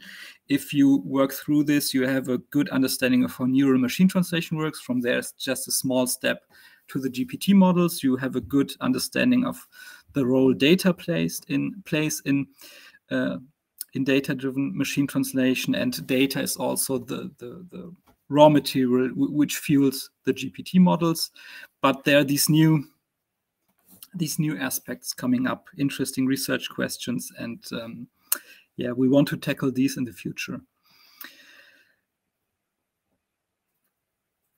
Uh, I don't know. So we're kind of in this in-between phase right now where new powerful technology is there. Research starts pouring out. There's a lot of papers on ChatGPT, but we don't have a clear picture yet on, on uh, of how this will uh, affect us and how this will affect translation automation in the future, how this will affect um, interaction with these new technologies. So it's interesting times, but yeah, also challenging times. I don't know, Janiça, Andrea, do you want to add something? Um, I think it's, yeah, we've already explained a lot. Um, sort of as we were presenting the resources, of course, there's always more time that we could need to present them and to walk through them and talk more about them or more about new developments.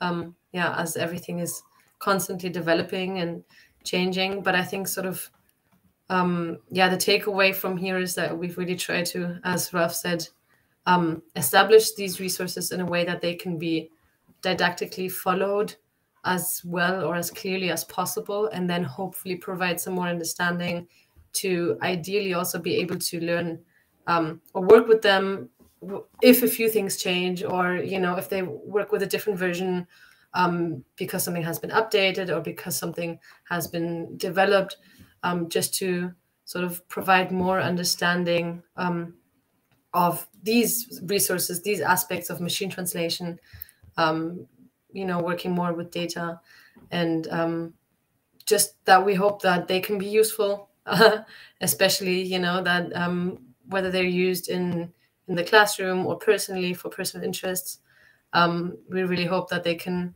sort of serve to um, help understand or just to you know try it out play around with it try working with your own data um, using these resources and hopefully sort of gain some more interested uh, some more interest in this topic in general because as uh, well everyone was saying today who was presenting how important it is to become more sort of data literate and to learn and know how to work um, with data um, especially within the field of machine translation or translation in general.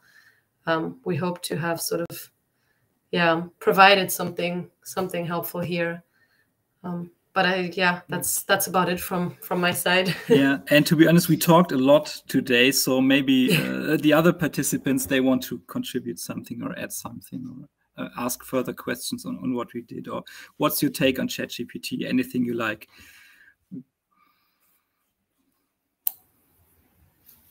You can also unmute yourself if you want, or also can turn on turn on your cameras.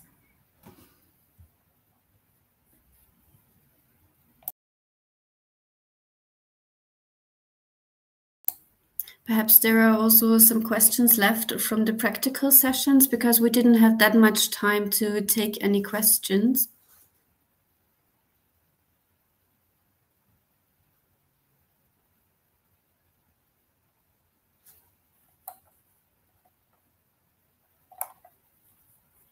Doesn't seem so. Um, maybe then um, our networking sessions would be in 15, 20 minutes or so. Sorry, there's one question from uh, Gabriella in, in, the chat. Yes.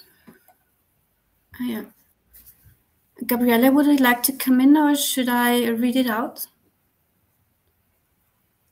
Okay, I'll read it out then. Um, are you planning to organize online courses for the students who might be interested in having a better understanding of neur neural machine translation? Uh, yeah, not in the nearest future because all the project members there already have their hands full with uh, with uh, other tasks.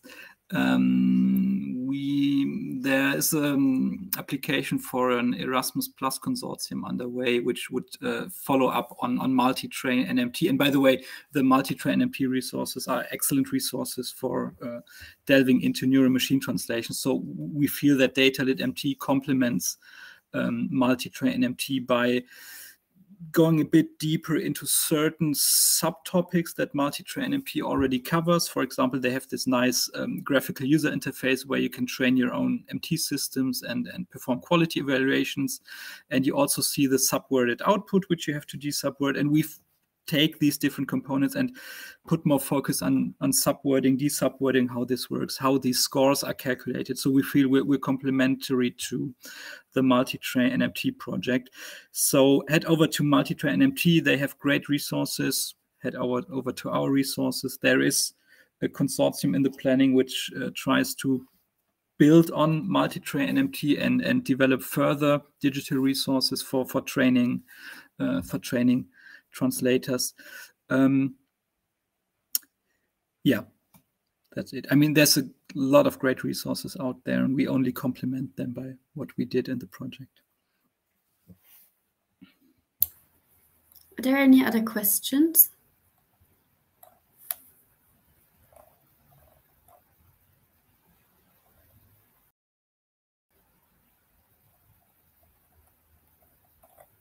Also, there's the, the DigiLing uh, website I posted in the chat, which is um, an Erasmus Plus project which, which uh, developed a full curriculum for a digital humanities program. We also have Python programming, uh, natural language processing, etc. They have a course on on post editing, so on the linguistic side of machine translation. This may also be something you, you want to have a look at.